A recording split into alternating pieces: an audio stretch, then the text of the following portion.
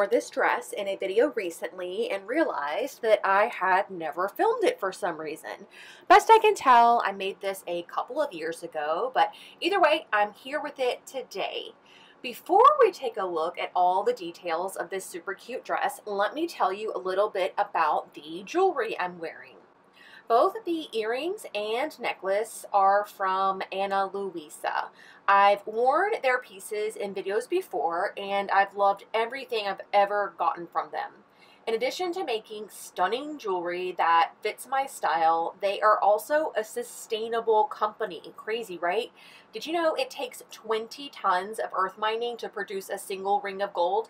And cheap costume jewelry is rarely recyclable, making it a huge waste. So I love that Ana Luisa uses 100% recycled gold and sterling silver in all of their products. This might sound like it would be expensive, but they eliminate the retail markup for their products, which keeps the prices as fair and accessible as possible. Their jewelry starts at just $49 and each of my pieces costs less than $90 a piece. FYI, big brands can charge up to 10 times the cost of production. But by eliminating this markup, you'll get quality products for way less money. Ana Luisa products come from the same jewelers as Tiffany's and Louis Vuitton. So they are very confident in their quality, so much so that they offer a complimentary one-year warranty on every product, which makes me just feel even better about ordering from them. If anything ever happens, I know that I will be able to have it replaced. In addition to the two pieces that I am wearing now, I also love these Frida earrings. At $49, these make such a statement. I am also obsessed with the Tia medium gold earrings. These hoops are so classic. They will go with absolutely everything. And again, at less than 50 bucks, you cannot go wrong. Finally, Ana Luisa has a whole collection of these layered necklaces that are just so, so beautiful. Obviously, it is the look of multiple necklaces, but all in one. This is kind of really hard to achieve on your own by buying individual necklaces and hoping that the lengths are correct and hoping that they kind of all go together. These layered necklaces that are an all in one one by one clasp deal are really, really great. Of all the ones that they have, I really, really love the Mist set. I just think this mother of pearl kind of statement bauble at the end of the chain mixed with the pearl beaded necklace is just so classic and so pretty.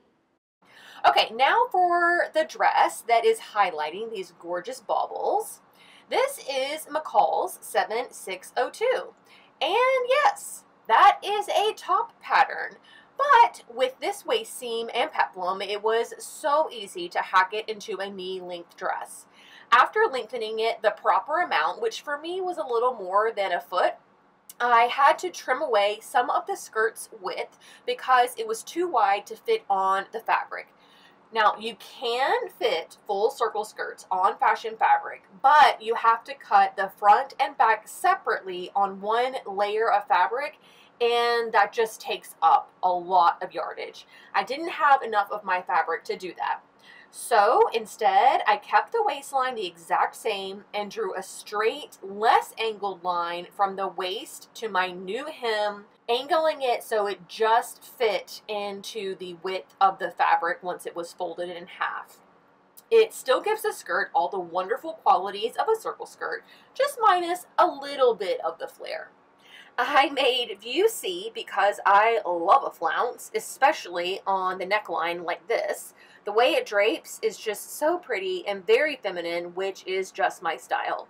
I opted to not include the skirt flounce from View D because I figured it would just get lost since I was using just one fabric. If I were color blocking or print mixing though, I would totally have added both flounces. Flounces are a fabric eater upper, but they are so worth it. The fabric I used, you might recognize. It was a very popular long-running print at Joann. It was from the Kathy Davis collaboration they did a few years back. The selvage of the fabric says 2016. I remember it was in the clearance section as recently as last year though. I triple checked and it's no longer available in store or online. It is a rayon for sure. I'm pretty sure it's a rayon twill. It's definitely a little bit heavier than something like a challis. You might have even seen some people use this fabric to make pants or shorts. It would have made great drapey paper bag waist shorts. Nonetheless, a rayon twill is great for dresses too. I found something comparable that I think would be so cute made up into this dress. It's this lyocell and rayon blend. I think the variegated stripes would make the flounce stand out beautifully, and the skirt, since it's a circle, would not have the stripes running straight up and down. They would angle out the closer you get to the side seam. Can you see how the horizontal stripes on my dress kind of make rainbow shapes? That's solely because of how the skirt is cut. Cool, huh? It's a subtle but interesting design choice. If you'd rather have the stripes be totally vertical, you could convert the circle skirt to a gathered skirt. It just would be less flare and less spin worthy. Some notes on the fit of this pattern. I made this a size too big for some reason, so it's got a, lip, a bit more ease than I'm used to in the bust. For that reason, I had to add a little cam snap to the center front to keep the bodice closed. You've probably seen people use little metal snaps for this same problem, but I find the cam snaps are easier to install, look better on the inside of the garment, and are easier to snap and unsnap. I use them in all my bodysuits as well. To install this one, I placed one side of the cam under the flounce and is totally concealed from the front. This pattern also came out during a time that the Big Four, especially McCall's, was going through this strange phase where all their garments fit me in the front widthwise, but the backs were way too big by like four inches. The side seams of this dress hit me where they should, indicating the front width is fine. But in the center back where the invisible zipper is, I could easily pinch out a couple of inches. So when the rest of the suede comes off, I'll be sure to rip out the zipper, trim back the center back seam, and reinstall it for a closer fit in the back. And that is everything I can think to tell you guys about this little dress. I've really enjoyed wearing it. It is very comfortable and perfect for this insanely hot summer we appear to be having. Uh, drapey, floaty, nothing stuck too tight to the body is perfect when it's this hot and humid. I can't wait to hear what you guys think. Please be sure to leave a comment in the comments section below. Let me know what you think of my new dress. And be sure to check out the description box where I have links to the pattern, links to the variegated stripe fabric that I chose, and also a dedicated link to Ana Luisa. Be sure to check out their jewelry, you guys. You will not be disappointed. I have a couple more pieces I'm going to be showing you in the next couple of weeks. I do have a code uh, for 10% off your entire purchase.